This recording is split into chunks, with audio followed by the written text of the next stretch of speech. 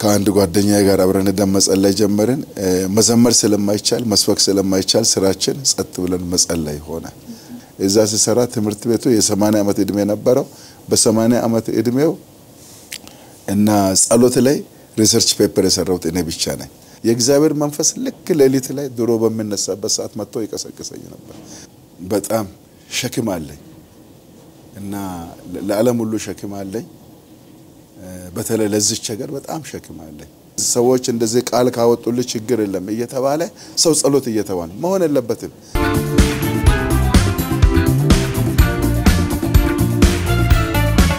ሰላም ጤና ስጥልን ውድ የኤችፒኤስ መንፈሳዊ ቻናል ተከታታዮቻችን ሬማ ከሊል ነኝ። እንደምን ሰንብታችኋል? ዛሬም እንደተለመደው በሌላ ሀሳብ በሌላ ፕሮግራም ተገኝቻለሁ። የዛሬ እንግዳዎቼ በጣም መልካም የሆኑ ለብዙዎች ተምሳሌት የሆኑና ብዙ የሚወጡ ሀሳብ ያላቸው እንዲሁም የጸሎት ንቅናቄ የምትለዋን መጽሐፍ ያሳተሙ የጻፉ አባት ናቸው። ከአባትነትም በላይ ብዙ የሕይወታቸው የሚናገር እንግዳ ይዤላችሁ ቀርብ ያለው እንድትከታተሉን በአክብሮት ገልጻለሁ።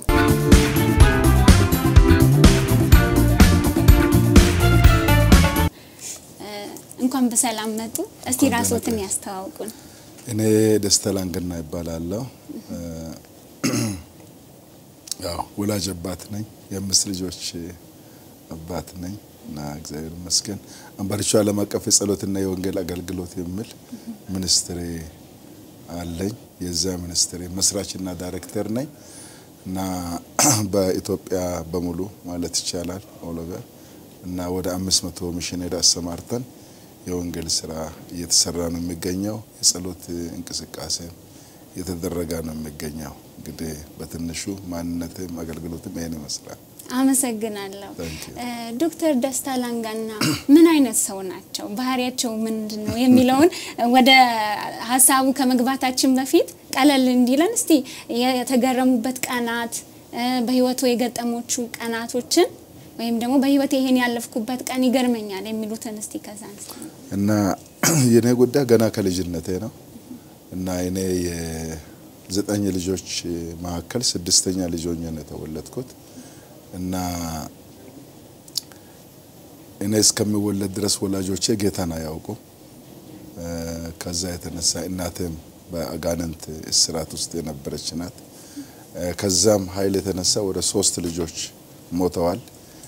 ሰይጣን እኔንም አራተኛውንም ሊገለኝ እቅድ ባቀደበት ጊዜ ነው እና እናቴ ስትነግረኝ አሁን ወደ ጌታ ሄዳለች እና እኔንም ገላ ራሷም ህይወት ራሷ ህይወቷን ልታጠፋ ስታስብ ነው ሁለት ክርስቲያኖች ሲመጡ ከውጭ ከሩቁ ብርሃን በርቶባቸው በርቶላት እና እነርሱን ስታ አጋንንቱ ወጣ። ከዚያ በኋላ እኔም ተረፍኩ፣ እሷም ተረፈች። ይሄ አንድ ትልቅ አስገራሚ ክስተት ነው። ሁለተኛም እንዲሁ በደርግ ዘመን በዚህ በክርስትና ምክንያት እስር ቤት ገብቼ ነበር እና መፈክር ከሁሉ በላይ አብዮቱ ሲባል አይ ከሁሉ በላይ ጌታ ኢየሱስ ክርስቶስ ነው ስል እና ከዛ የተነሳ እስር ቤት አስገብተውኝ ነበር እና እና ካድሬው ሲደበድበኝ ሲገርፈኝ ሲያቅተው መጨረሻ ላይ ያው እና ጠበንጃ እዚህ ጎሮሮ ላይ ሰክቶ ያኔ ሰውን መግደል በጣም ቀላል ነበር እና እኔም ለጌታ ተናዝዤ እና በቃ ነበረ። ግን ያው ጌታ እንደማገለግለው ስለሚያውቅ በእነዚህ ሁለት ትልልቅ ክስተቶች የሞት ግዛቶች የነበሩ እና ማለት የሚታዩ እግዚአብሔር እንዳዳነኝ ያውቃለሁ። ከዛም በጣም ብዙ ጊዜ ተመሳሳይ ሁኔታዎች አጋጥሞኛል። እነዚህ ግን ያው ትዝ የሚሉኝ ሁለት ትልልቅ ክስተቶች ናቸው። በጣም ይገርማል። እግዚአብሔር በጣም የረዳውት ሰው ናችሁና ወደ ሀሳባችን ስንመጣ የጸሎት ንቅናቄ የምትለዋ መጽሐፍ እንዴት ልትጻፍ ቻለች? ሀሳቡ እንዴት ሊመጣ ቻለ? እኔ አሁን እድሜ ወደ ስልሳ ሰባት እያገባደድኩ ነው እና ሐምሌ ስገባ ወደ ስልሳ ስምንተኛ ዓመቴ እንትን ላለሁ እና የዛሬ አምሳ አንድ ዓመት ማለት ነው ትንሽ ልጅ እያለሁ ሰፈር ክርስትና ገና አካባቢ ነው እየገባ ነበር እና ሌሎች ፕሮግራም ሲሄዱ እነርሱን ተከትዬ እሄድ ነበር እና አንድ ወንድም ስለ ጸሎት አስፈላጊነት ተናገረ። ምግብን በቀን ሶስት ጊዜ እንደምንበላ ጸሎትም ለእኛ ቋሚ መሆን አለበት። ሶስት ጊዜ ብንጸልይ ጠንካራ ክርስቲያኖች እንሆናለን ብሎ ሲነግረኝ ስድስተኛ ክፍል ተማሪ ነበርኩ። እኔም መጸለይ ሁለተኛ ክፍል እያለሁ ነው ጌታን የተቀበልኩት። ያን ጊዜ በጣም እንትን አለኝና በቀን ሶስት ጊዜ መጸለይ ጀመርኩ እና ይሄ ነገር ልማድ እየሆነ መጣ። መጀመሪያ ከአምስት ደቂቃ በላይ አልጸልይም ነበር፣ ግን በኋላ የጸሎትን ሰዓት እየጨመርኩ ሲመጣ እና ቅድም ያልኩት የክህደት ወይም እግዚአብሔር የለሽ አይዲዮሎጂ የያዘ ፖለቲካ በኢትዮጵያ በሚራመድበት ሰዓት ላይ እና ስደት በክር በወጣቶች ላይ መጣ እና ስደት ሲመጣ ቸርች እንዳንሄድ እና በዝማሬ ፋንታ ዘፈን እንድንዘፍን እንደገና ደግሞ በማናቸውም መንፈሳዊ እንትን ላይ እንዳንሳተፍ የሚለው ነገር ጫና ሲበዛ ጸሎት የበለጠ አስፈላጊ መሆኑ ገባንና ጥቂት ወገኖች በጣም መጸለይ ጀመርን። እየዋልን መጸለይ፣ ጾም ጸሎት፣ እያደርን መጸለይ፣ በየቦታው መጸለይ። ይሄ ነገር እንትናችን መሆን ጀመረ። የበለጠ ስደቱ ጫና ወደ መታሰርም ስንመጣ የበለጠ መጸለይ ጀመርን። ከዛ በኋላ ጸሎት ለእኔ የህይወቴ በቃ ዋና ነገሬ ሆነ። ከዛ ዩኒቨርሲቲ ገባሁ። አራት ኪሎ በቆየሁበት ጸሎትን አስተባባሪ ነበርኩ። በጸሎት የጸሎት prayer prayer team ውስጥ prayer band ይባላል። ያኔ ጸሎትን ነበር አስተባብር ነበረ። ፊዚክስ ነው ይስማር ነበረው አራት ኪሎ ያኔ ዩኒቨርሲቲው ዩኒቨርሲቲው ሁሉም አንድ ላይ ነው። ስድስት ኪሎም አራት ኪሎም አምስት ኪሎም አንድ ላይ ስለነበረ የዛ የጸሎት ቡድን አስተባባሪ ከነበሩ ወገኖች አንዱ ነኝ ነበርኩኝ። እና ጸሎቱ በጣም ደስ አለኝ። ማለት በበለጠ በጸለይኩ ልክ እየወደድኩ መጣሁ እና ከዛ በኋላ ደግሞ ወደ ባሌ ወደሚባልበት ሀገር እና ለስራ ተመደብኩኝ። ዩኒቨርሲቲ ስጨርስ እና ሲመደብ ክርስቲያን የሚባል የለም፣ ቸርችም የለም፣ ክርስቲያንም የለም። በኋላ አንድ አራትና አምስት ወር ቆይቼ አንዲት እናት እንዳሉ ሰማሁ። እሳቸው ጋር ቀስ ብዬ ከአንድ ጓደኛ ጋር አብረን ደም መጸለይ ጀመርን። መዘመር ስለማይቻል መስበክ ስለማይቻል ስራችን ጸጥ ብለን መጸለይ ሆነ እና ያ መውደት እግዚአብሔር ደግሞ ለትልቅ እድገት ነው ምክንያት ያደረገኝ እና ዋና ነገራችን ከምንም ነገር ይልቅ ጸሎት ሲሆን እግዚአብሔር ደግሞ በጣም ትልቅ revival እግዚአብሔር አመጣ። ያው ቅድም እንደነገርኩኝ ባዶ ነው የጀመርነው። ከአስር ዓመት በኋላ ሲወጣ ከሺህ ሰው በላይ ክርስቲያን ሆኖ ብዙ ቸርቾች ተመስርተው ያንን አይቼ ወጣው። ከዛ በኋላ እኔ ወደ ተወለድኩበት አካባቢ ከምባታ ጠንባሮ ዞን ዱራሜ የምትባል ከተማ እዛች አካባቢ ነው። አንዲት ገጠር መንደር ላይ ነው የተወለድኩትና ወደዛ አካባቢ ተዛውሬ ስመጣ እና ኢሳፓ ወይንም ደግሞ የሶሻሊዝም እንትን እያበቃ በነበረበት ሰዓት ወጣቱ በጣም እየተነቃቃ ነበር። ግን የሚመራውን ሰው ይፈልግ ነበር እና እኔ ደግሞ ዞሬ በቤትሩቱ ዞሬ ስለ ጸሎት አስተማሩ። ስለ ጸሎት አስፈላጊነት ከፍተኛ ሪቫይቫል ተከሰተ ማለት ከዛ በኋላ 1985 86 87 88 እስከ 1995 በጣም ከፍተኛ revival ተከሰተ። በእርግጥ ከዛ በኋላ መሀል ላይ እኔም ለቅቄ ወደ ወደ ሲንጋፖር ሀገር በ mission masters ኤን ስሰራ እና mission የሚባለው የወንጌል ተልእኮ የሰሩ ሰዎች ትልቅ ስራ የሰሩ ሰዎች እነማን ናቸው? የጸሎት ሰዎች እንደሆኑ የበለጠ ያ ደግሞ እንድነው በ library ላይ ያገኟቸው መጽሐፍት የበለጠ access ሰጡኝ፣ አነበብኳቸው። በቃ ለዛ በጣም committed ሆንኩኝ። ከዛ በኋላ ኢትዮጵያን በሙሉ ማለት ይቻላል ዞሬ ስለ ጸሎት አስተማርኩ ለአንድ አራት ዓመት ያህል። ከዛ በኋላ mission school የሚባል እንትን ትምህርት ቤት ጀመርኩኝ። የኢትዮጵያ ቃለ ሕይወት ያስጀመረችው ያው founder ም director ም ሆኜ ጀመርኩኝ። እዛ ትምህርት ቤት ላይ ትምህርት ቤቱ በቃ የጸሎት ትምህርት ቤት ሆነ። እና ከዛ በኋላ ብዙ ሰዎች በየጊዜ ለምንድን ነው የጸሎት ላይ መጽሐፍ የምጽፈው? ለምንድን ነው ለምንድን ነው ይላሉና በቃ ጊዜ በጣም busy ነኝና ጊዜ ስለማጣ እንትን ልለም ግን እግዚአብሔር አንድ አጋጣሚ ሰጠኝ እና አንድ በጣም ባሌ እያለው በጣም ወዳጄ የነበረ ወርልድ ቪዥን መሀል ኢትዮጵያን በሙሉ በመንፈሳዊ እንትን የሚያስተባብር ወንድም ባክን ጸሎት ላይ አንድ የሆነ material አዘጋጅና the whole መሀል ኢትዮጵያ አብያተ ክርስቲያናትን ስልጠና እንሰጣለን ስል ያንን እንደምንም ብቻ ጊዜ እንትን እያደረግኩ አዘጋጀው። ያንን material አዘጋጀው። አንድ ሳምንት ሙሉ ስልጠና ሰጠው። why not ወደ መጽሐፍ አይቀየርም ወደሚል ነገር ደግሞ መጣ። የሚገርም ነው። ወደዛ ሲመጣ ግን እግዚአብሔር የሰራው አንድ ትልቅ ነገር ነበረ። እኔ ዶክተሬቴን አሜሪካ ነው የሰራሁት። አሜሪካ በ missiology ወይም በ missiology ነው የሰራሁት፣ በ mission ማለት ነው። እዛ ሲሰራ ትምህርት ቤቱ የሰማንያ ዓመት እድሜ ነበረው። በሰማንያ ዓመት እድሜው እና ጸሎት ላይ research paper የሰራሁት እኔ ብቻ ነኝ። እና ከመመረቄ በፊት አንድ research paper ሰራው። ያ research paper ላይ የሰራሁት በጸሎት ላይ ዝም ብሎ ተቀምጦ ነበርና እና እኔ ከተዘጋጀሁት ይሄንንም ጭምር ሁሉንም ማካተት ነበረብኝ። ከእንግሊዝኛ ወደ አማርኛ አካተትኩ። በደንብ አድርጌ organize ለማድረግ ሞከርኩ። እንደዛ ሆኖ ነው እንግዲህ የመጀመሪያው እትም የዛሬ 10 ስንት ዓመት ነው 11 ዓመት እንደዛ አካባቢ ነው የዛሬ 11 ዓመት ታትሞ የመጀመሪያው እትም አሁን በአንቺ እጅ ያለው ስንተኛ እትም እንደሆነ አላቅም። አሁን አስረኛ እትም ላይ አስረኛ ህትመት ላይ ነው እዚች ላይ ያለ እዚች ላይ አሁን እዚህ ላይ ያለው ኦ ይሄ ስምንተኛ እትም ነው በአንቺ እጅ ያለው አሁን አስረኛ እትም ህትመት ላይ ደርሷል። በጣም ብዙ ኮፒ እያለቃናለሁ። ይሄ ነው እንግዲህ ከጸሎት የጀመርኩበት ያስተማርኩበት ያነበብኩት እንትን እንደሆነ በእርግጥ conviction ኔ በጣም strong በጣም እምነቴ በጸሎት ላይ ያለኝ ቅድም እንዳልኩኝ ያነበብኳቸው መጽሐፍት research ሲሰራ በዓለም ላይ የተነሱ revival ኦች በሙሉ መንፈሳዊ መነቃቃቶች፣ በረከቶች በሙሉ መነሻቸው ጸሎት እንደሆነ በቃ አመንኩ። በራሴ ያለኝ experience አለኝ። ግን ለካ ዓለም ላይ የተከሰተው ሁሉ በረከት የጸሎት እንደሆነ ያለ ጸሎት ምንም ማድረግ እንደማይቻልና የጌታ ኢየሱስ ክርስቶስ ቃል በጣም challenge አደረገኝ። እሱም ዮሐንስ ወንጌል 15 አምስት ላይ ያለ እኔ ምንም ልታደርጉ አትችሉም የሚለው ቃል በጣም እንትን አለኝና ከዚህ የተነሳ እችን አባባል እኛ ስንጸልይ እግዚአብሔር ይሰራል፣ ካልጸለይን እኛ እንሰራለን የሚለው ስለዚህ ነው። ስለዚህ እግዚአብሔር ሲሰራ ምን እንደሚሆን ይታወቃል እና እኛ ካልጸለይን ደግሞ እኛ ስንሰራ ምን እንደሚሆን ይታወቃልና እኛ ብዙ short ብዙ ውስንነት አለብን።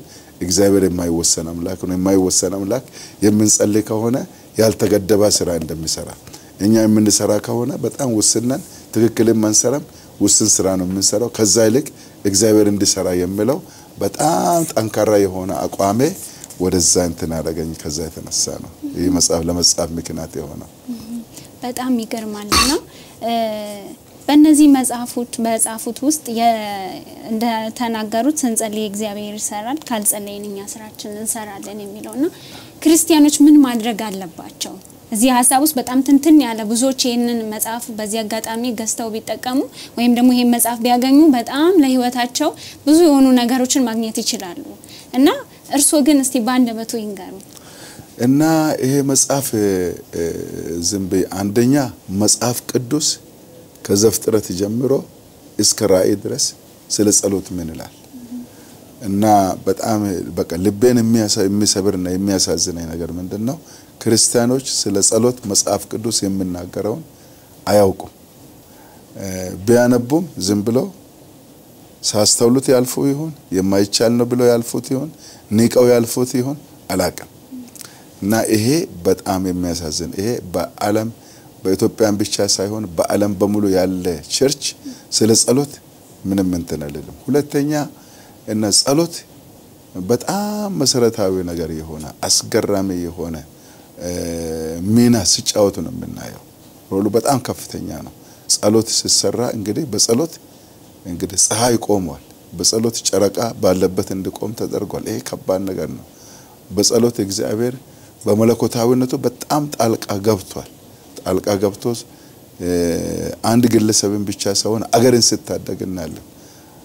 በጸሎት ናናዌ የተባለች ሀገር ናናዌ የተባለች ሀገር በሶስት ቀን ተገልብጣ የምትጠፋ ሀገር በህዝቡ በሙሉ ከጠቅላላው ሰው ከሰው እስከ እንስሳ ድረስ ከአዋቂ እስከ ሕፃን ድረስ ከንጉስ እስከ ተራ ህዝብ ድረስ በእግዚአብሔር ፊት ጾሞ ጸልዮ እግዚአብሔር አገርን ታድጓል እና ያ ህዝብ ናናዌ ተመልሳ ወደ ኃጢአት እስከምትገባ ድረስ በሶስት ቀን ልትጠፋ የነበረች ናናዌ 148 ዓመት በህይወት ኖራለች። ዮናስ 760 ዓመት ዓለም ላይ ነው።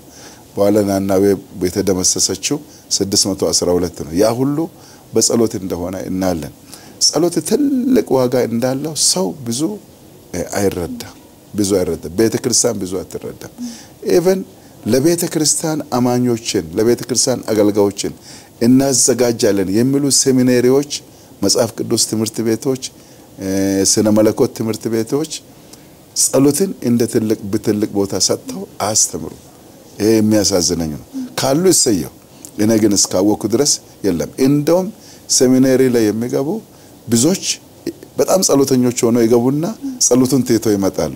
ይልቁን የበለጠ ጸሎት ስለ ጸሎት ተምሮ የበለጠ ጸሎተኛ ሆነው መውጣት ሲገባቸው እና ጸሎትን እንትን ይላሉ እና ይሄ ስንጸልይ እግዚአብሔር ይሰራል ማለት ምን ማለት ነው? ጸሎት ማለት እግዚአብሔር በእኛና በነገሮቻችን እንዲሰራ መጋበዝ ማለት ነው። ጸሎት ማለት ይሄ ነው። ምንም ልዩነት። ይሄንን ደግሞ እግዚአብሔር ይፈልጋል። እግዚአብሔር ክብር ይፈልጋል። እግዚአብሔር እንድንመካ ይፈልጋል። ጸሎት ማለት ሙሉ በሙሉ በእግዚአብሔር ላይ መመካት ማለት ነው። አለመጸለይ ማለት ደግሞ እግዚአብሔርን አታስፈልገኝም፣ እኔው እኛ ስንጸልይ እኛ እንሰራለን ማለት አታስፈልገኝም፣ እኔው ይሰራለሁ፣ ጉልበቴ ይሰራል፣ እውቀቴ ይሰራል፣ አቅሜ ይሰራል፣ ሰው አለኝ፣ ሰው በቃ ዘመድ አለኝ፣ ወይንም ደግሞ እንደዚህ አለኝ፣ ከነርሱ ጋር ይሰራለሁ፣ ሽርክ አለኝ፣ partner አለኝ። በቃ እንደዚህ መመካት ማለት ነው። ትምክህት ደግሞ ትዕቢት ነው። ትዕቢት ደግሞ ቁጥር አንድ ከባድ ጠላ ማለት ኃጢአት ነው። እግዚአብሔር ይህንን አይወድምና ስለዚህ ጸሎት በጣም እግዚአብሔር ከአማኞች የሚፈልግ የመጀመሪያ ቁጥር አንድ ነገር ነው። ያ ማለት ጸሎት ማለት even አቀራረባችን መንበርከክ ራሱ ምን ያሳያል? ተሸንፌያለው ማለት ነው። በቃ ተሸንፌያለው እገዛልሃለው ማለት ነው። ክብር ላንተ እሰጣለሁ ማለት even አቀራረባችን በራሱ ትልቅ እንትን አለው። በንግግራችን የምንገልጸው በምንጸልይበት ሰዓት ነው ልባችን የሚፈሰው በእግዚአብሔር ፊት ሁለንተናችን የሚቀልጠው እግዚአብሔር ደግሞ ደስ ይለዋል። በቃ ለምን እንትን ለምለው አይደለም። በተለይ ጸሎት ትልቁ part ምንድነው? ትልቁና ዋናው እግዚአብሔርን የማምለካችን ዋናው ቀዳሚ መንገድ ነው። ምክንያቱም በእግዚአብሔር ፊት በተንበረከክን ልክ ለእግዚአብሔር እየተገዛን ነው እገዛልሃለው ባልኩ ልክ እርሱን በእውነትና በመንፈስ አመለክ ነው ማለት ነው። ስለዚህ ነው ጸሎት በጣም ዋና ጉዳይ ሆኖ መታየትም መወሰድም ያለበት ትልቅ ስፍራ መሰጠት ያለበት እና በእርግጥ ብዙ ቦታ ላይ ይሄ ሆኖ አናገኝም። ይሄ ደግሞ I think እንደሚመስለኝ እግዚአብሔር በእስራኤል ልጆች ላይ አሕዛብ ወደ መንፈሳዊ ሙላት ወይም ደግሞ ወደ ክርስቶስ ሙላት እስኪገቡ ድረስ በእስራኤል ላይ ድንዛዜን ላከ እንደሚል ሰይጣን በአማኞች ላይ ድንዛዜ የላከ ይመስላል። ይህን በደንብ እንዳስተውሉ ትልቅ ነገር አድርጎ እንዳይቀበሉ አድርጎ ሰይጣን እንደው አልደል የሆነ መጋረጃ በአይናችን ላይ ያደረገ ነው የሚመስለኝ። በጣም ይገርማል። ይህን ሲሉ አንድ ሀሳብ መጣልኝና ብዙዎች ምን ይላሉ? ለመንበርከክ ያስቡና ለመጸለይ ያስቡና አይ ሁኔታው ይሁን አየሩ ይሁን ተይዟል እና መጸለይ አልቻልኩም፣ መንበርከክ አልቻልኩም፣ ጾም ጸሎት መያዝ አልቻልኩም ብለው ጥቂት ደቂቃዎችን ብቻ ዝም ብለው ሀይላት ብለው የሚነሱ ሰዎች አሉ። ምን ይላሉ? በጣም ይሄ ይህን ጥያቄ ስለጠየቅሽኝ በጣም ነው ደስ የሚለኝ። ምክንያቱም ትልቁና ዋናው ነገር ይሄ ነው። ብዙ ሰው መጸለይ ይፈልጋል፣ ግን አይጸልይም። ጸሎትን ይወዳል፣ ግን አይጸልይም። እንደውም ከዚህ የተነሳ ብዙ ሰው ምንድን ነው የሚያደርገው? አሁን በተለይ በዘመናችን እኔ መጸለይ አልችልምና አንተ ጸልልኝ፣ ነቢይ ጸልልኝ፣ ፓስተር ጸልል፣ መጋቢ ጸልልኝ፣ ወንጌላዊ ጸልልኝ። በቃ አንድ የጸሎት ጸጋ ያለው ሰው ይጸልልን። ጸሎት በነገራችን ላይ የጸጋ ስጦታ አይደለም። ጸሎት መንፈሳዊ ልምምድ ነው። በእንግሊዘኛው spiritual gift ሳይሆን spiritual discipline ለምንድን ነው እግዚአብሔር ይህንን ያደረገው? ጸሎት የእግዚአብሔር ልጅ የሆነ የሁሉም ክርስቲያን ለእኩል የተሰጠ ስጦታ ነው። ሁላችንም እኩል እግዚአብሔርን የመጠየቅ መብት አለን። እግዚአብሔር ለሁላችንም እኩል ይሰጣል። ምክንያቱም እግዚአብሔር ለማንም አያዳለም። ጸሎት ጸሎት ማለት ምንድን ነው? መንፈሳዊ ጦርነት ነው። መንፈሳዊ ጦርነት ነው። ውጊያችን ከደምና ከስጋ ጋር አይደለም ነው የምለው። በመንፈሳዊ ዓለም ካሉት ሰራዊቶች ሁሉ ጋር ነው። ከአለቆች ጋር፣ ከስልጣናት ጋር፣ ከገዢዎች ጋር በመንፈሳዊ ዓለም ላይ ካሉት ክፉ መንፈሳዊ ሰራዊቶች ጋር ይሄ ይሄ ዓለም ደግሞ ለሰይጣን የተሰጠው። የዚህ ዓለም ገዢ ተብሏል። ለምን እግዚአብሔር ሰጠ? እሱን አናቅም። already የዚህ ዓለም ገዢ ነው። የጨለማ አምላክ ነው። በእርሱ ቁጥጥር ውስጥ ነው። ሰይጣን ሁሉንም system ሁሉንም ባህል ወይም ሁሉንም system ሰይጣን ፖለቲካውን ይቆጣጠራል እና በቃ አካባቢውን ባህል ይቆጣጠራል። even ቤተ ክርስቲያን ውስጥ ገብቶ ሰይጣን ሁሉን ነገር ይቆጣጠራል። ስለዚህ ይሄንን system የምና system ውስጥ የገባውን የአጋንንትን ኃይል ማፍረስ የምንችለው በመጸለይ ነው። ጌታ ኢየሱስ ክርስቶስ በማርቆስ ወንጌል ምዕራፍ 9 29 ላይ ምን ይላል? ይህ ወገን በጾምና በጸሎት ካልሆነ በሌላ በምንም አይወጣም ማለት። ይህ ወገን ማለት ምን ማለት ነው? በጣም እየተደራጀ የሰይጣን እንትን አለ። ለምሳሌ ስትሄጂ አንዳንድ ከተማ ስትገቢ ሰው በአልኮል በቃ ቁጥጥር ውስጥ ያለ ነው። አንዳንድ ከተማ ምንድነው ነፍሰ ገዳይ ይሆናል። አንዳንድ ከተማ ውሸት በውሸት ብቻ ህዝቡ ውሸት ውሸትን የተለማመደ ሊሆን ይችላል። አንዳንድ ከተማ ብቻ ሳይሆን መንደር፣ አንዳንድ ቦታ እንዳለ በቃ አለ አይደለም ሀሺሽ የሆኑ ነገሮች ወይ ትንባሆ ሊሆን ይችላል፣ ጫት ሊሆን ይችላል፣ የመሳሰሉ ነገሮች አካባቢን ሊቆጣጠር ይችላል። ሰይጣን ገንዘብን አድርጎ ኮሚኒቲውን ማለት ህብረተሰቡን የተቆጣጠረ ነገር ሊሆን ይችላል። ስለዚህ ሰይጣን ራሱን በሁሉም ነገር ነው manifest የሚያደርገው። ስለዚህ ክርስቲያን ለመጸለይ ተንበረከከ ማለት የሰይጣን ስራው ሊፈርስ ነው፣ መንግስቱ ሊፈርስ ነው፣ የተቆጣጠረውን ሊለቅ ነው።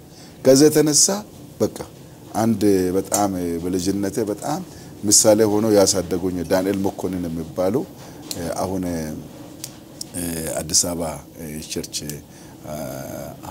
መጋቢ ናቸው፣ ሐዋርያ ናቸው። እሳቸው በልጅነቴ እያሉ የዛሬ አርባ ምናምን ዓመት ነው የተናገሩትን አልረሳም። ክርስቲያን ለመጸለይ በርከክ ስል ሰይጣን የክተት ጦር ያውጃል። ክተት ጦር ማለት ያለ የሌላ ኃይል ይዘ በቃ ይሄን ሰውዬ ላይ እንትን አድርግ ማለት ነው። አንድ ሰው ደግሞ በእንግሊዘኛ ነው የመጨረሻ ደካማ የሚባል ክርስቲያን መንበርከክ ሲጀምር የሰይጣን መንግስት ይናወጣል ይላል። ስለዚህ ሰይጣን ከማንም ይልቅ ጸሎተኛን ይጠላል። ከምንም ይልቅ ጸሎትን ይጠላል። ሌላ ነገር ችግር የለም። ሰይጣን የመጀመሪያ የሚዋጋው ዝማሬ ችግር የለም፣ ስብከት ችግር የለም፣ title ምናምን ችግር ደስ ይለዋል። እንደውም title ኡን እንደው ጥሩ title እያደረግ ራስህን ወደ ላይ ከፍ አድርግ ዝነኛ ሁን ይላል። ግን ጸሎትን ሰይጣን በጣም ነው እንትን የምለው። ስለዚህ ጦርነት ነው።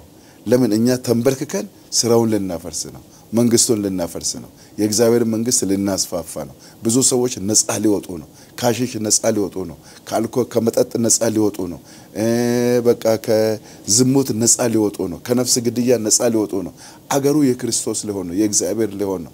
ስለዚህ ነው ይሄ ስለዚህ ነው። ይሄንን ደግሞ እኛ አንረዳም። በቃ እግዚአብሔር ለመጸለይ ከፈለኩ ለምን መንፈሱን አፈስም?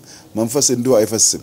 ታግለን ነው አየሩን የምናጸዳው። አየሩ ለምሳሌ ዳንኤል ምዕራፍ 10 ላይ ዳንኤል 21 ቀን ሲጾም ገብርኤል ከእግዚአብሔር ዘንድ መልአክ ይዞ መልስ ይዞ እስከሚመጣ ድረስ 21 ቀን ተዋጋው ይላል። ዳንኤልን የመሰለ ጸሎተኛ ተው እኛን ደካሞችንም። ዳንኤል እድሜ ልኩን የጸሎት ሰው ነው። ትልቅ የጸሎት ትልቅ የጸሎት አርበኛ ነው። ምዕራፍ ዘጠኝ ላይ ስንመለከት አንተ እጅግ የተወደድክ ሰው ነህ፣ በልመና መጀመሪያ ላይ ትእዛዝ ወጥቷል። ምዕራፍ አስር ላይ እንደገና ከባድ ጦርነት ሲከሰት እንመለከታለን። ስለዚህ ነው ጸሎት ጦርነት ነው። ጦርነቱ ግን ተዋግተን የምንሸነፍበት ሳይሆን የምናሸንፍበት ነው። ሰይጣን የተሸነፈ ነው። በክርስቶስ በቀራንዮ መስቀል ላይ ክርስቶስ ደሙን ባፈሰሰ ጊዜ አቅሙ፣ ኃይሉ፣ ስራው በጠቅላላ ያለ እንትኑ ማለት ተሸንፏል። ሆኖም ግን እኛ ተዋግተን ነው ተዋግተን ነው ድንበራችንን እንትን የምናሰፋው የእግዚአብሔር መንግስት የምናስፋፋው። ስለዚህ ነው ስለዚህ ጦርነት ስለሆነ ነው ይሄ ሁሉ በቃ ስንንበርከክ ጉልበታችን እንድታመም ያደርጋል። ራሳችንን ያመናል። የጸሎት ፍላጎት እንትን ይላል። እንቅልፍ ይዘናል። ግን መቀጠል ነው መቀጠል ነው። ስለዚህ ነው መዝሙር ምዕራፍ አርባ ላይ ቆይቼ እግዚአብሔርን ደጅ ጠናሁት እርሱም ዘንበል አላለኝ የሚለው መቆየት እምቢ ብለን መቆየት ውጊያ ቢኖርም በቃ መዋጋት በኢየሱስ ስም መዋጋት። አስቀድሞ ግን የህይወት በህይወት ነው ሰይጣን የምንዋጋው በቅድስና ነው በጽድቅ ነው። ከዛ ደግሞ በአፍም ደግሞ እንዋጋለን። የምናውቀው ነገር ካለ specifically ያንን መንፈስ እንዋጋለን። ከዛ በኋላ breakthrough ይመጣል። ከዛ በኋላ ነው revival የሚመጣው። ለምሳሌ እኔ በዚህ መጽሐፍ ላይ የጠቀስኩት ቀጀሌ የምትባል church ላይ የጸሎት ቡድን አስር የጸሎት ቡድን መሰለኝ የተደራጀው አስር ዓመት ነው የፈጀው አስር ዓመት breakthrough እስከሚመጣ ድረስ። ስለዚህ ከባድ ጦርነት ስለሆነ ጊዜ ይጠይቃል፣ ሰዓት ይጠይቃል፣ አመታትን ይጠይቃል። ሆኖም ግን ድሉ ግን የኛ ነው። የዓለም ታሪክ revival የመጣው በዛ ነው ለማለት ነው። ጌታ ይባርኩት። በጣም ሰፊ ሀሳብን ነበር ሲሰጡን የነበር ብዙዎችም ይህንን ሲሰሙ ሲያዳምጡ ሲመለከቱን በጣም እግዚአብሔር እንደሚጎበኛቸው እንደሚታደሱ አምናለሁ እና ጌታ ይባርኩት። በቀጣይስ ምን ታስቧል? ምን አይነት መጽሐፎችን ሊያወጡ አስበዋል ወይስ በዚህ ይቀጥላሉ የሚለውን እስቲ በቀጣይ ያሰቡትን እኔ አዎ ይሄ መጽሐፍ የጸሎት ንቅናቄ የሚለውን በእርግጥ ቃሉ በወቅቱ አዲስ ነበር። አሁን ግን አዲስ እንትን prayer movement ከሚለው ሀሳብ ከ prayer movement ከሚለው ሀሳብ ነው ያገኘሁት እና prayer movement የተባለበትን ምክንያት ብዙ በዚህ መጽሐፍ ውስጥ የተጠቀሱ ብዙ ነገሮች ምንድን ናቸው? አንደኛ መጽሐፍ ቅዱስ ስለ ጸሎት ምን ይላል? ሁለተኛ በታሪክ ውስጥ ጸሎት የሰራው ነገር ምንድን ነው? በታሪክ ውስጥ በሰሜን አሜሪካ ላይ፣ በአውሮፓ ላይ፣ በአፍሪካ ላይ፣ በላቲን አሜሪካ ላይ፣ በነዚህ contine እስያ ላይ እነዚህን ሁሉ ለመዳሰስ ሞክራለሁ። ሁለት ሶስተኛ ደግሞ የራሴን ህይወት የራሴን ህይወት ጉዞ የአርባ ምናምን ዓመት ጉዞ ያንን ለመዳሰስ ሞክራለሁ። ጸሎት እንዴት በህይወቴ ላይ ያመጣውን ሌላ ደግሞ መቼም ሌላውን ብቻ ከሚል በራሴ አጥቢያ ቤተ ክርስቲያን ላይ ያመጣው ለውጥ በአንድ አመት ታይቶ በአመታት ታይቶ የማይታወቅ ነፍሳት ናቸው በአንድ ወደ ጌታ የመጡት። ምን ሪቫይቫሉ ከመጣ በኋላ ሰው በቃ ከእንትኑ ከእስራቱ እየተፈታ ወደ ጌታ ይመጣ ነበር። ስለዚህ አንደኛ መጽሐፍ ቅዱስ ስለ ጸሎት ምን ይላል የሚል፣ ሁለተኛ ደግሞ ታሪክ ምን ይላል። ምክንያቱም እግዚአብሔር በታሪክ ያስመሰክራል። ከታሪክም አልፎ ደግሞ በራሴ ህይወት ምን ይላል የሚለው ይህንን እንትን ብያለሁ። ይህንን ነገር ጠቅሻለሁ። ስለዚህ ምንድን ነው አሁን ደግሞ የሚቀጥለው ያው already መጽሐፍቶች የጻፍኩት መጽሐፍ አለ። አንድ መጽሐፍ ልቀት የሚል excellence በሚል የተለያዩ ቅዱሳንን አሰባስቤ እና ልቀት በሚል excellence በሚል መጽሐፍ ተጽፏል።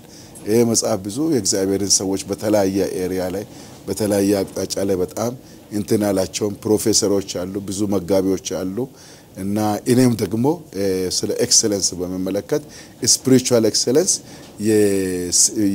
የአእምሮ excellence ምክንያት እንደሆነ spiritual excellence የሁሉም ነገር excellence ምክንያት እንደሆነ ለአገር excellence ለህብረተሰብ excellence በግል ህይወት excellence እና መንፈሳዊነት ምን አይነት role እንዳለው በተለይ የዳንኤል ህይወትን እንደ መንፈሳዊ ሰውም እንደ professional ም እንደ ፖለቲካ መሪም እንደ በቃ በተለያየ ነገር አስገብቼ ያንን መሰረት በማድረግ እንትን ተጽፏል። በተለያዩ topic ኦች ነው የተጻፈው። 17 topic ኦችን በሚመስል የዩኒቨርሲቲ መሪዎችን እንደገና ደግሞ በትልልቅ የእግዚአብሔር ሰዎች ያሉትን እንትን አድርጌ በክርስቲያኖች የተጻፈ መጽሐፍ ተጽፏል። ሁለተኛ ደግሞ mission ላይ መጽሐፍ ጽፌያለሁ። ምናልባት አሁን ቅርብ ጊዜ ታትሞ ይወጣል። ሶስተኛ ደግሞ ይሄ የጸሎት ንቅናቄ የሚለው እንዳለ movement ላይ ያተኮረ ነው። ሁለተኛ ደግሞ እንዴት እንጸልይ የሚለውን የጸሎትን አቅጣጫ የሚያሳይ ነው። ሶስተኛ የተለያዩ ነገሮች አለ። አሁን ግን ስፔሲፊካሊ የጸሎት ኃይል በሚል ላይ ጌታ በፈቀድ መጽሐፍ ለመጻፍ ሀሳብ አለኝ። በተለይ ለምሳሌ ያህል ጸሎትና ቤተሰብ በሚል ለምሳሌ ያህል መጋቢና ጸሎት ምን ይመስላል የሚል እና የወንጌል አገልግሎትና ጸሎት በሚል በእነዚህ እንደዚህ የመሳሰሉ አንድ በጣም ሰፋ ያሉ ቶፒኮች አሉኝና እየጸለይኩ ነኝ እና ጌታ በፈቅድ በዛም ደግሞ ለመጻፍ እንትን አለኝ። ወደፊት በጣም ብዙ በርካታ መጻሕፍትን ለመጻፍ ሀሳብ አለኝ። አሁን ያው ብዙ መንገደኛ ስለሆንኩ አገልግሎት ስለበዛ ያው ሚኒስትርም ስላለኝ ሚኒስትርም ስላለ በጣም ስለሚያባክነኝ አሁን ቁጭ ላልኩኝም እንጂ ጌታ በፈቅድ በሰፊው በዚህ ሀሳብ ላይ ብዙ ብዙ ለመጻፍ አስባለሁ። ከንግግሩና ከመጽሐፉ በላይ ሲያወሩም አካል ለብሶ የሚገለጥ መንፈስ አለ። ሚስጥሩ ምንድን ነው? እንግዲህ አላወኩኝም። እኔ ምንድን ነው እኔ ስለ ጸሎት እያስተማርኩ የማጸልይ ከሆነ በእግዚአብሔር ፊት በደል ነው፣ ለእኔ ትልቅ በደል ነው። ይሄ በጣም ጠንኳር ጠንካራ አቋም አለኝ እና ስራ ይበዛብኛል፣ አገልግሎት ይበዛብኛል። ግን ከእግዚአብሔር ጋር ያለኝ ያው መናገር የማልፈልገው ከእግዚአብሔር ጋር ያለኝ እግዚአብሔርና እኔ committed የሆንበት commitment አለኝ ከእግዚአብሔር ጋር የማጠፋው ጊዜ። ጊዜ ኖረ አልኖረ? ፈጽሞ ከአቅም በላይ ካልሆነ በቀር ጊዜ ኖረ አልኖረ? አገልግሎት በዛ? ጉዞ ኖረ? ምን? whatever ከእግዚአብሔር ጋር የማሳልፈው ቋሚ ጊዜ አለኝ። እና ይሄ ከእኔ ተለየ ማለት እኔ ሞትኩ ማለት ነው። ምንም እኔ ሞትኩ ማለት ነው። በዚህ ጉዳይ በጣም serious ነኝ።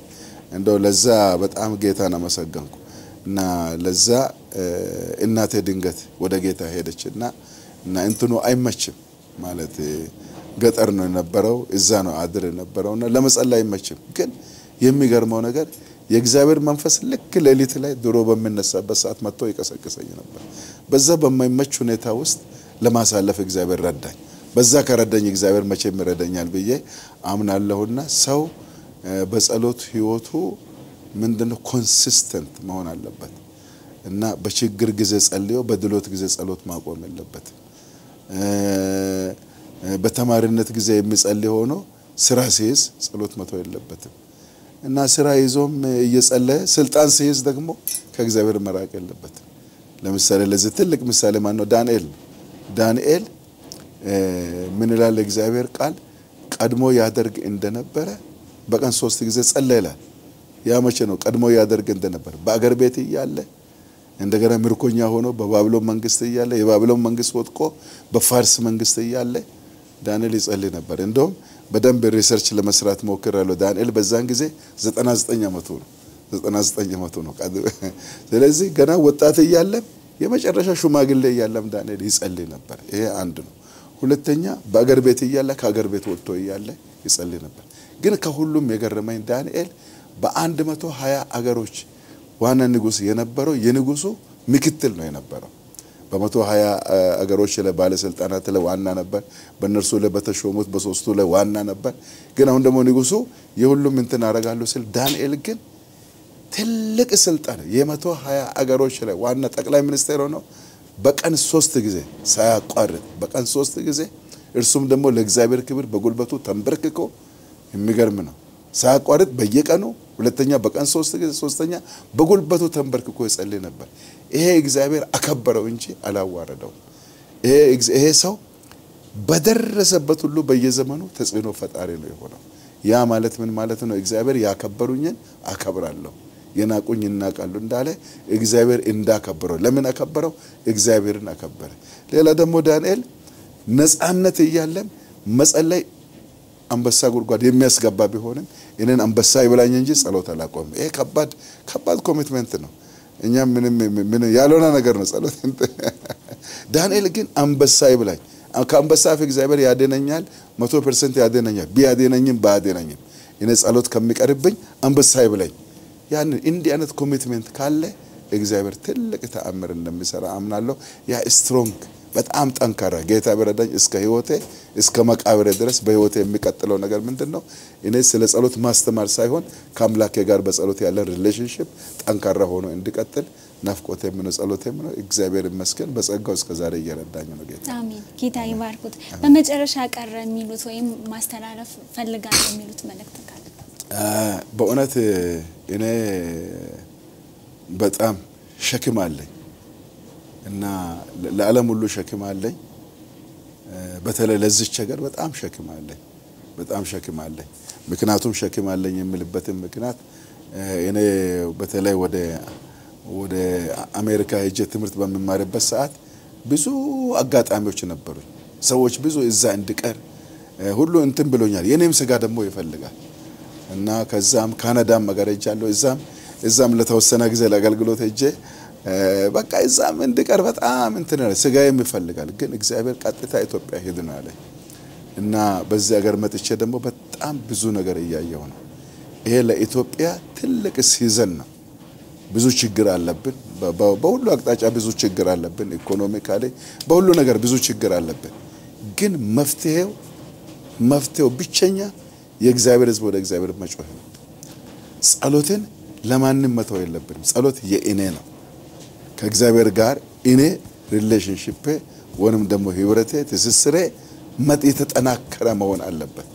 ጸሎትን ልጆች ለወላጆች መተው የለባቸውም። ወላጆች ለልጆች መተው የለባቸውም። ባል ለሚስት መተው የለባትም። ሚስት ለባል መተው የለባትም። ምእመን ለፓስተር መተው የለበትም። ፓስተር ደግሞ ምእመኑ ይጸልይ ማለት የለበትም። ሽማግሌዎች አይ በቃ የቤተክርስቲያን መሪዎች አይ ምእመኑ ይጸልይ እንጂ የራሱ ጉዳይ ሁሉ ሰው ሁሉ ሰው የመጸለይ ኃላፊነት ግዴታ አለበት። መብት እንዳለ ሁሉ ግዴታ አለበት እና እግዚአብሔር የሁሉን ሰው ጩኸት ይፈልጋል። specially ይሄ ትውልድ specially ይሄ ትውልድ በጣም በጣም በትልቅ ትህትና ነው የሚለምነው። ብዙ አስተምሮቶች ይህንን ትውልድ አዋክበዋል። ምንድን ነው ጸሎት በቃ ሰዎች እንደዚህ ቃል ካወጡልህ ችግር የለም እየተባለ ሰው ጸሎት እየተባለ መሆን የለበትም። ጸሎት ለማግኘት አይደለም፣ በነገራችን ላይ ለ relationship ነው። ጸሎት ትልቁ ነገር ከአምላካችን ጋር ላለው relationship ነው እና ሰው አብሮ ከቆየው ሰው ጋር ፍቅርን ያዳብራል፣ develop ያደርጋል። ከእግዚአብሔር ጋር አብረን በጸሎት ከቆየን በጣም ከእግዚአብሔርና በእኛ መካከል ያለን relationship በጣም ይጠናከራል። ጸሎትን ለማግኘት አይደለም ነው አይደለም የምንፈልገው መጽሐፍ ቅዱስ እኮ አስቀድማችሁ የእግዚአብሔርን ጽድቅ መንግስቱን እንፈልግ ሁሉ ይጨመራል ይላል። እኛ ከእግዚአብሔር ጋር እንጣበቅ እንጂ እግዚአብሔር አባታችን ነው። ምን ይከለክላል? እኛ ምንም አይከለክልም። እኛ የምንጸልይ ከሆነ እግዚአብሔር የምንፈልገውን ብቻ ሳይሆን ከሚያስፈልገን በላይ እግዚአብሔር ሊሰጠን ይችላል። ያስደንቃል፣ ያስደንቃል። ስለዚህ ለዚህ ትውልድ የሚለው በጣም እንጸልይ። አዲሱ ትውልድ ዘመኑ የአዲሱ ትውልድ ነው። የነገ ቤተ ክርስቲያን የዛሬን ቤተ ክርስቲያን የነገን ቤተ ክርስቲያን የአዲሱ ትውልድ ነው። ያለ ጸሎት አይቻልም። ያለ ጸሎት አይቻልም። ጌታ ያለ እኔ ምንም ልታደርጉ አትችሉም ብሏል። ያለ እኔ ማለት በእርሱ መደገፍ ነው። የምንደገፈው በጸሎት ነው። የምን ተንበርክከን ከእርሱ ጋር ጊዜ በቂ ጊዜ ማጥፋት አለብን። አንድ ትልቅ መልእክት ምንድን ነው? ከምንወደው ሰው ጋር ረዥም ጊዜ ማጥፋት እንፈልጋለን። ታዲያ እግዚአብሔርን የምንወድ ከሆነ ረዥም ጊዜ የማናጠፋ ከሆነ አንወደውም ማለት ነው። የመውደዳችን መገለጫ ምንድን ነው? ከእርሱ ጋር በተለይ ከቃሉ ጋርና ከእርሱ ጋር በቂ ጊዜ ማሳለፍ አለብን። ሻይ ቤት የምናጠፋ ጊዜ፣ ፌስቡክ ላይ የምናጠፋ ጊዜ፣ ቴሌቪዥን ላይ የምናጠፋ ጊዜ፣ ከጓደኛ ጋር የምናጠፋ ጊዜ የበለጠ ከእግዚአብሔር ጋር ጊዜ በጸሎት ብናሳልፍ እግዚአብሔር ብዙ ተአምር ይሰራል። ሌላው ዓለም አሁን በጣም እንትን ብሏል፣ እየተበለሻሸ ነው። እግዚአብሔር ኢትዮጵያን አሁን ብርሃን እያደረጋት ነው ብርሃን እያደረጋት ነው። ትልቅ ነገር እግዚአብሔር ይሰራል። ሌላው ችግር ውጭ ያለው እሱ የራሱ ጉዳይ እሱ እንዳለ ሆኖ ግን እግዚአብሔር ለዓለም mission ለዓለም አቀፍ mission ኢትዮጵያን እየፈለገ ነው። ወንጌልን ለዓለም ሁሉ ይዘን እንድንሄድ ብርሃን እንድንሆን እየፈለገ ነው። የማንጸልይ ከሆነ ይሄ እድል ያመልጥብናል። እንዳያመልጠን ተግተን እንጸልይ፣ በርትተን እንጸልይ። ከምንገምተው በላይ እግዚአብሔር ይሰራል የሚል ጌታ አብዝቶ ይባርኩት። በጣም አመሰግናለሁ። እንግዳችን ሆኖ አክብረውን እዚህ ድረስ ስለመጡ እግዚአብሔር ያክብርልኝ። የኤችቢ ቤተሰቦች እንግዲህ ይህንን ይመስል ነበረ ቆይታችን። ሳምንት በቀጣይ ፕሮግራም በሌላ ዝግጅት እስከምንገናኝ ቸርን ሰንብት።